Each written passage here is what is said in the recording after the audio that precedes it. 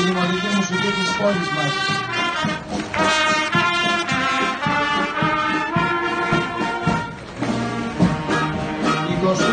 Οκτωβρίου 1940.